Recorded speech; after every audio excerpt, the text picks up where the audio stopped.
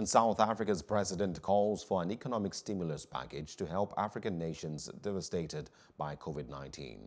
Speaking to the United Nations General Assembly on behalf of the African Union, President Cyril Ramaphosa also called for the suspension of inter interest payments on Africa's debts. In the spirit of this new global deal that we call on the international community and our international partners to support the rollout of a comprehensive stimulus package for African countries. This will enable African countries to not only mitigate the health impacts of COVID 19, but to aid us in the immense task of rebuilding our shattered economies.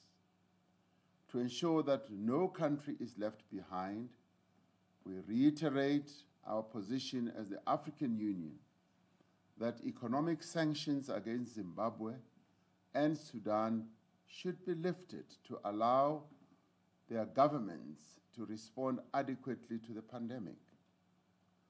We also call for the suspension of interest payments on Africa's external and public debt. We must raise our level of ambition to ensure that every man, every woman, and every child has an equal chance at a better future. It is a future free of hunger, disease, insecurity, and war. It is a world that affirms the dignity and the worth of all, regardless of race, ethnicity, gender, sexual orientation, religious affiliation, or social circumstances.